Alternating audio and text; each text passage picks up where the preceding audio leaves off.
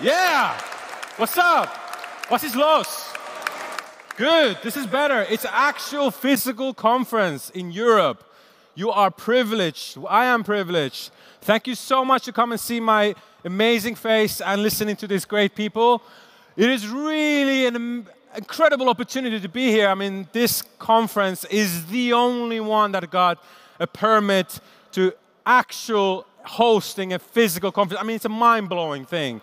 I know it's sometimes it can be quite downer to listen to some talks and be on your phone, but for the next 30 minutes, I'm going to challenge you for something that is quite crazy for teenagers, maybe for you too, not be on the phone. Let's try it.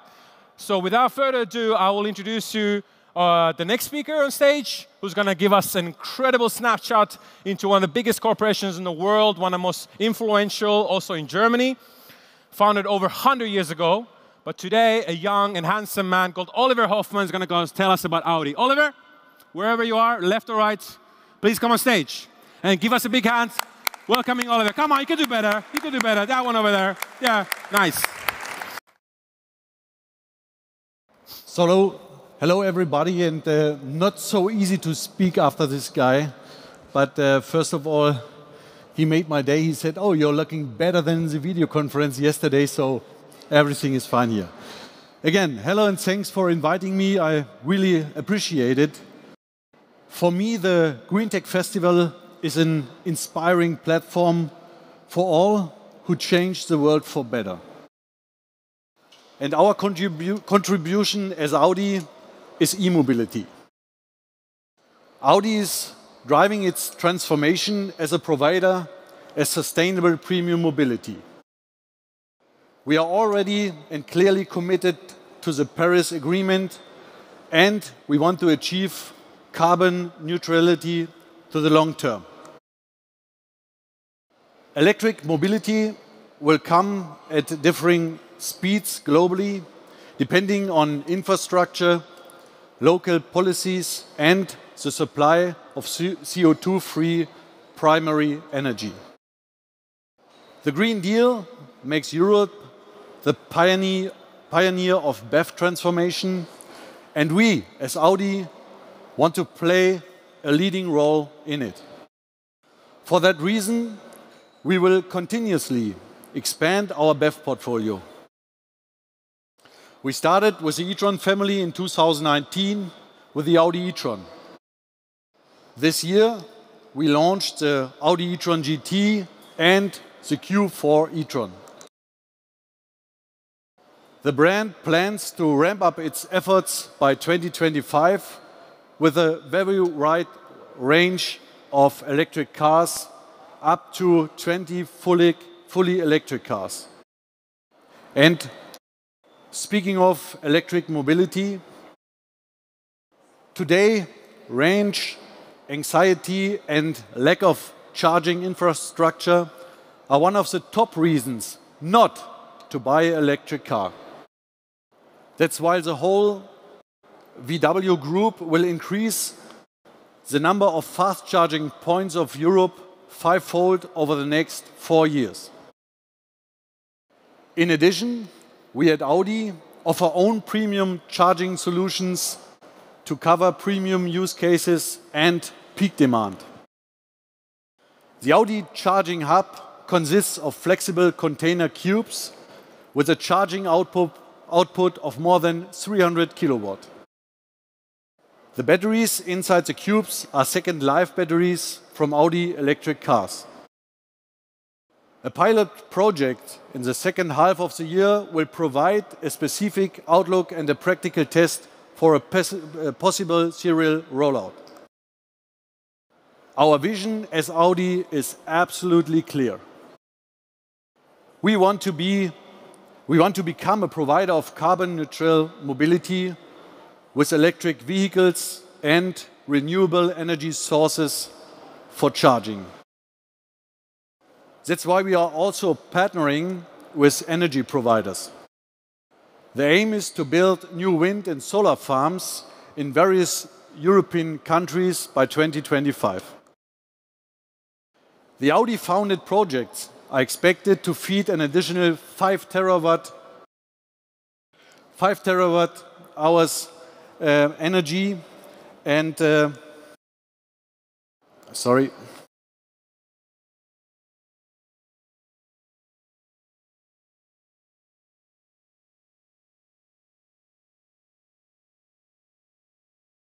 Sorry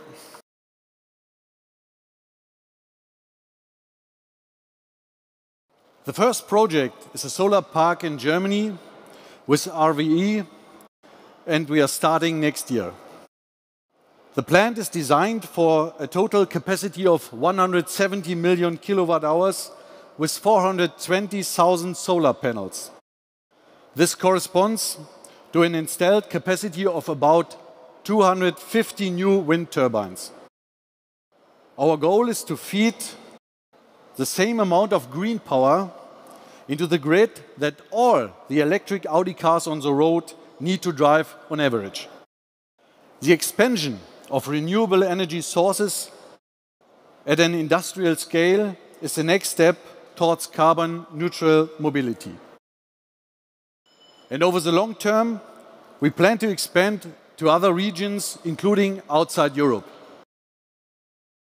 This is the way to our clear vision to be a provider of sustainable premium mobility. Electric mobility, sustainable energy, and sustainable, sustainability driven companies are all symptoms of a profound change of global values. And all the participants of the Green Tech Festival have been dealing with this transformation for years.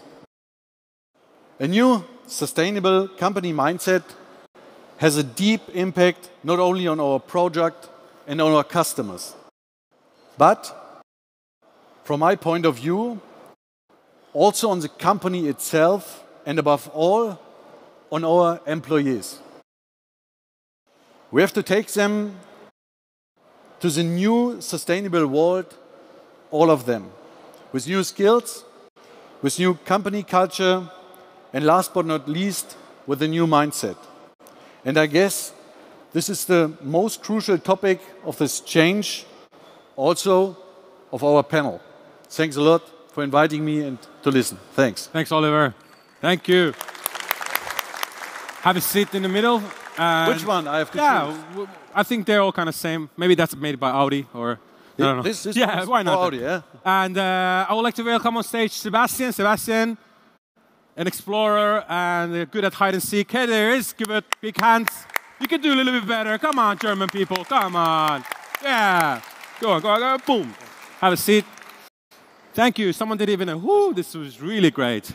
All right. So we have uh, two humans in physical form here, which is great. We have, I think, two others in digital form, which I don't see. Oh, there they are. Hey, good. Asher on the left side. Asher, hi. Do we hear them? Okay. And on the other side, Christian, hi. Hello to Berlin. Hi. All right, cool. Asher, why are you not here? Oh, I'm here. I'm here. What happened? You were supposed to um, be right um, here. What I'm happened? I know because there was awful talking about technology, just real bad delays and technical glitches in getting a Delta flight out from the United States over to Berlin. So mobility So betrayed really you. apologize. Yeah. Yeah. well, it's good to have everyone here. Um, thank you so much for taking that the opening keynote. It's not easy after a long period of uh, not having events to actually speak to cameras and the people. So I appreciate everyone's time here. We haven't heard about you. Who are you and why are you here? Well, I'm a, I'm a polar explorer. Um, I've spent um, you know decades uh, traveling the polar regions and um, and uh, looking at and studying the impacts of climate change on on ice. And um, since then, I've, I've founded a, uh, uh, think tank and a foundation that studies uh, the confluence of various systems and uh, look at what the state of the world is from the wheel of climate change. That affects socioeconomics, uh, technology, geopolitics, etc. Um, and so my work is divided between uh, studying at-risk environments and uh, try to look in a crystal ball and look at all these elements and predict the future. You, you said something interesting when we had a chat before that climate change doesn't have a passport. Right. What, what does that mean? I mean, obviously, we know what it means, but does it mean that it impacts Russia as equally as Netherlands? I mean, well, that's that's a great question. In fact, it's interesting in this COVID time, we've really come to realize what a global challenge is. That if you solve an issue somewhere, it doesn't mean that it's resolved for you globally. Mm. Uh, and so, you know, needless to say, the pandemic is an easy, um, tangible way to understand it. But climate is exactly the same thing. Uh, whether it is uh, the disparity of hydrology in certain environments uh, that impacts the global calories and therefore the movement of people, and, um, and in that respect, uh, uh, you know, uh, people who seek a better, uh, more prosperous um, uh, life and so migrate to other places. That destabilizes sociopolitical environments. Um, and then, of course, there's the issue of rising sea levels, and that is also without passport. It doesn't matter whether you're in Bangladesh or in Florida. Uh, you know, whether you're in China or in the Netherlands, you still have the same global problem. Asher, uh, I know you personally, but people don't know you here. So tell us who you are and, and, and what excites you about what you do. Sure. Um, I, am a National Geographic explorer, and I've always looked at the nexus between uh, commercial ventures, corporate social responsibility, uh, sustainable development, and conservation initiatives on the ground, which is why I felt called to technology being the final frontier of exploration uh, for a couple of reasons. One, efficiency, which is to say that it is the quickest, smartest, most effective way to deliver solutions on the ground. It takes away choice, which we've conflated with freedom. And uh, nature doesn't give choice, it is specific in its outcomes and it engineers everything to optimally deliver its services and capacities to the whole, uh, which is what technology does.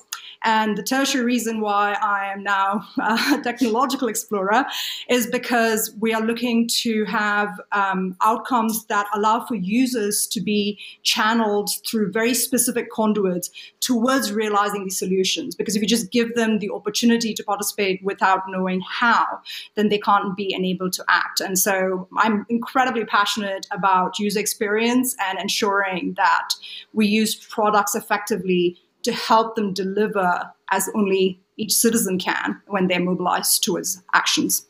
Uh, Oliver, I know this kind of might sound, I mean, for me, I mean, I know Asher, but for you as a corporate leader, does this sound like wishy-washy, like something that you, people who are, who are like Asher, who explore the world, are, are, are thinking of a world that might not exist from your angle? Like, what does it sound like? Do you think that Audi can help someone like Asher and Sebastian? I think so, I think so. And it, it, it sounds for me it's, it sounds the right way. And, and we need this push yeah, to push us as an industry um, to make this transformation very fast. You know, this is the biggest transformation ever in the, in the automotive industry. Yeah? And, and we, we need to push, and, and we need also to push from, from, from, from our circumstances, from, from, from the people around us. Yeah? And I'm, I'm really happy to, to, to drive this transformation on the technology side and, and technological side and also on the cultural side and on the mindset side.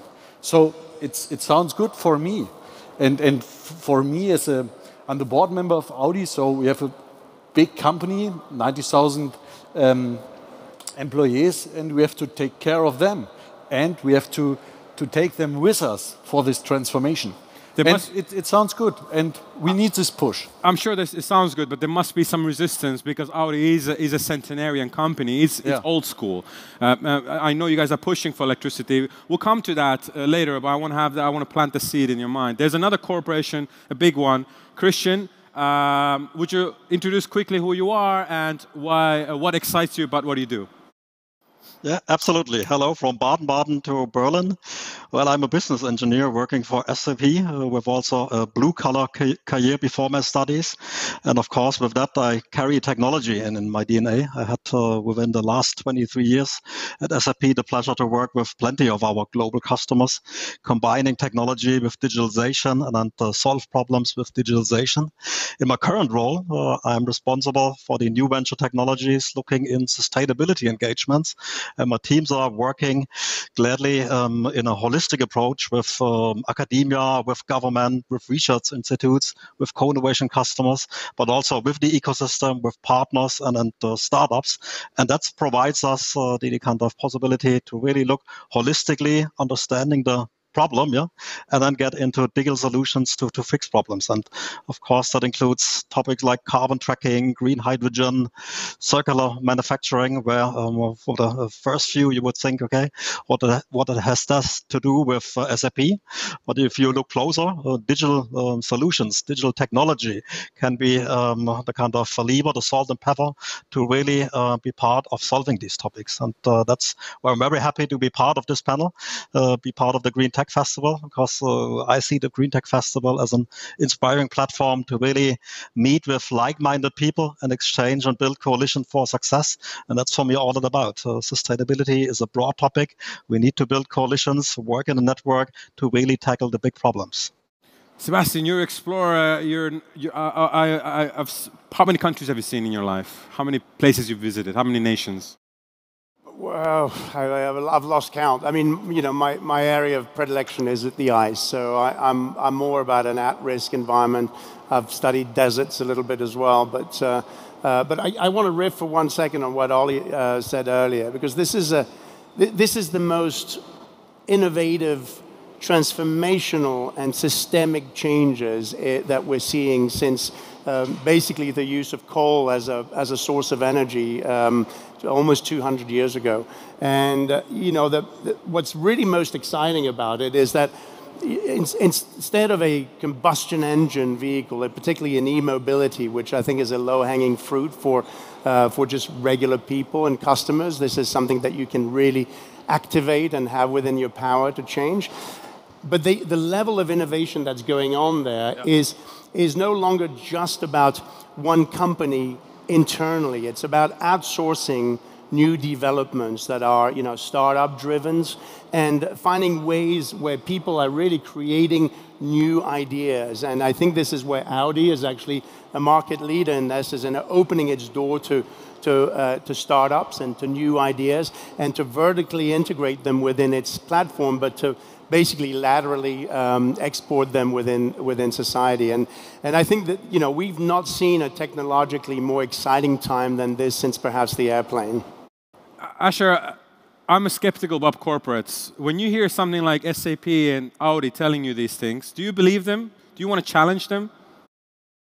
Well, here's the thing. I am currently uh, with my own company, Hive and Hamlet Inc. What we're focusing on is blockchain technology, which affords us that decentralized, distributed system of accountability and transparency. And uh, although there's a lot of apprehension and misinformation about NFTs and their iteration in the world, I think once again that's another conduit through which we can deliver impact systems.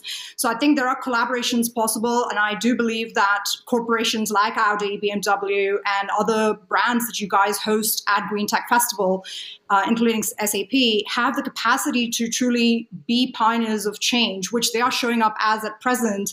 Um, and I think that's also one of the reasons why I work so closely with brands, whether I worked with Prada, Adidas, any of the companies that I've collaborated or partnered with, has been because they are the real um, conduit for mass change globally. It's not about just one place, one action being taken. It's, uh, it's something that has to be decentralized and empowered from the toe up everywhere in the world simultaneously. And that synchronicity is what's going to really allow for a paradigm shift to occur uh, systematically and in a manner where we really see it's not just talk, but that there's walking that path too. Additionally, I think, you know, uh, there's this thing that has existed for all these years, which is that if a company has been around for 100 years, it's more validated in its existence. It's brand based trust. But what blockchain technology can do is allow for math based trust. You can show up in this moment, in the present present tense and still be able to make a, a, a commitment and deliver on that. Um, and I think that brands like Audi can leverage that mechanism now to deliver um, their messaging and their uh, impacts in real time to their audience as well as on the ground. Um, so I do think technology is an extremely democratic way to allow for top-down and bottom-up engagement, um, and that's real, and that's why I don't think it's you know hogwash for us to be sitting here in a panel panel talking about these topics because this is where we're going to see the most important changes of our time, which need to occur and should have occurred yesterday. So we're already a day late in everything we're committing to. Um, so I'm really glad for many of the perspectives Sebastian's expressed because, yes, it is incredibly urgent and we should be doing everything. It's no longer an afterthought, um, as Oliver was saying. Um, sustainability is a commitment that we have had to make yesterday, and therefore today is a day late, but we are doing everything we can, and that's really how we should be approaching this. Um, so, yeah, I really believe in, in, in tech being a way for every single person in the world to be mobilized towards being that uh, change maker, that conduit for true transformation. Uh, Oliver, uh, I, I, what Asher is saying, there's a lot of change happening. Obviously, we're seeing the change, but I'm sure some people at your company are afraid of for their jobs uh, for, for, for the innovation. I mean, it's fast. Like Sebastian said, we're moving so fast right now. And, and traditional people who work in car manufacture and other jobs, are they afraid? How do you, how do you, how do you make them less afraid of the change? Yeah. So this is, is a very, very important point for us.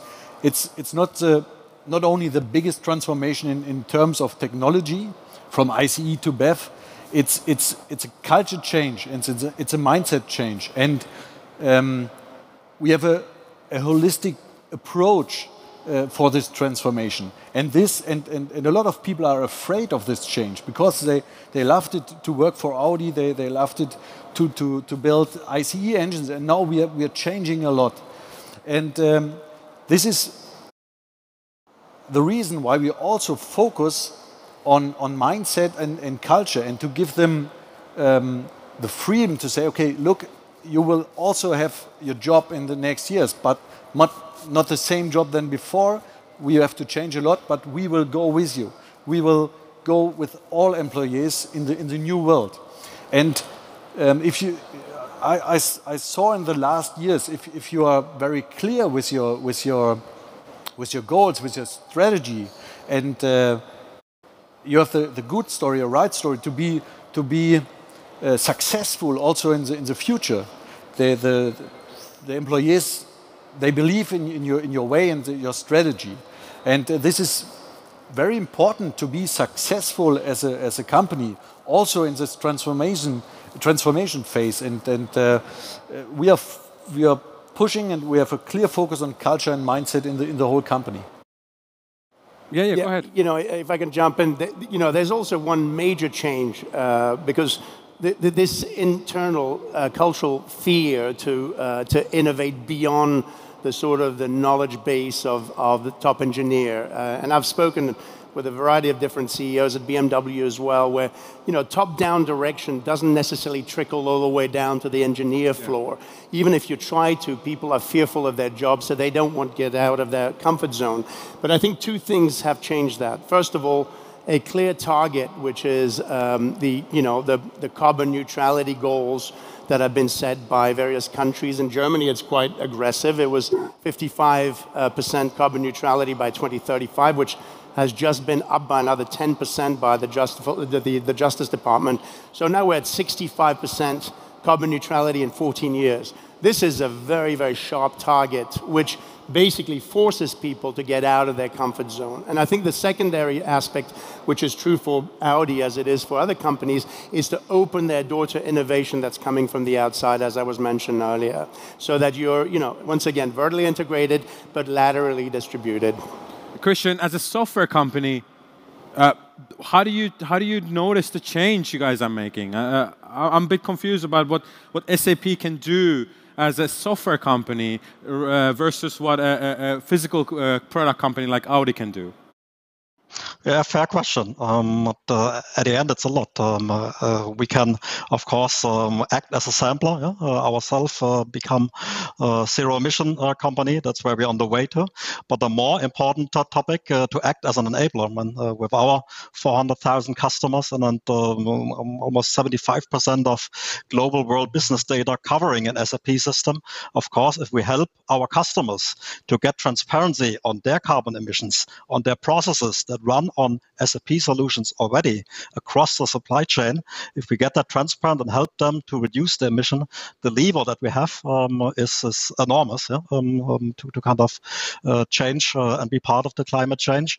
And next step is then to help also customers uh, with uh, business networks, uh, getting connected alongside the network, exchanging data yeah, in an anonymous way, maybe um, um, building um, business cases cross company based on data, and then doing cross company simulation. So um, it's all based on data, it's based on trust, and all that is powered by um, digital solutions.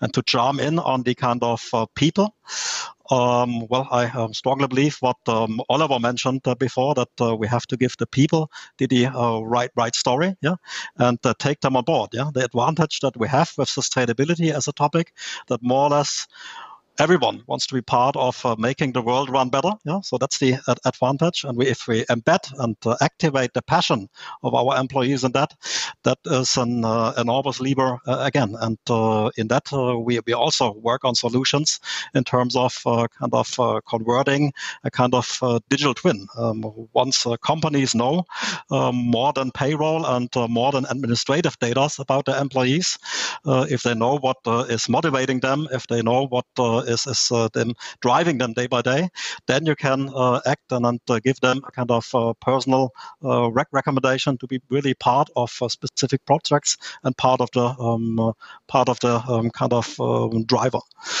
And one additional comment to what Ash said uh, in regards of the um, startup uh, versus or in combination with corporates.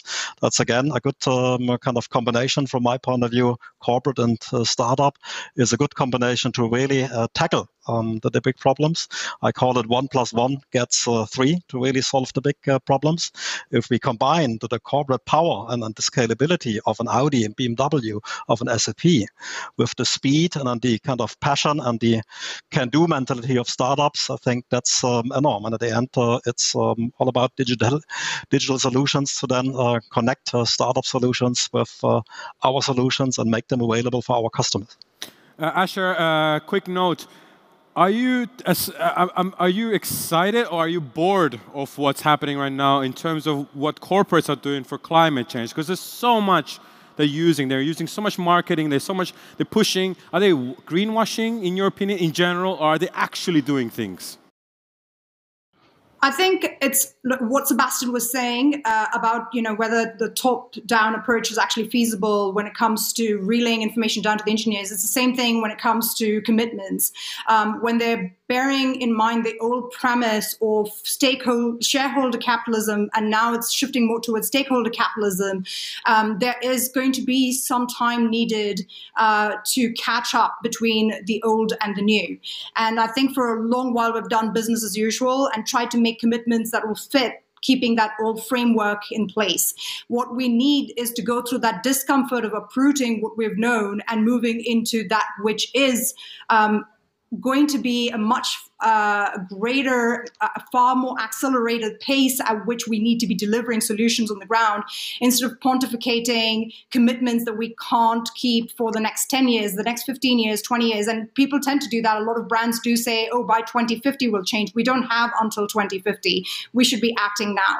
And so, given that need for presence, I do love what Christian mentioned about collaboration and especially between uh, larger entities that are very heavy in the in the level of staffing and the fact that they cannot operate in this lean, mean, green efficiency mode that we need at this juncture, uh, partnering up with startups that operate in that way will help us come towards um, synergistic outcomes that might otherwise not be possible. So I do think it's it's time for us to set our egos aside and work together, as opposed to thinking that one person can be sort of the savior or hero of the day.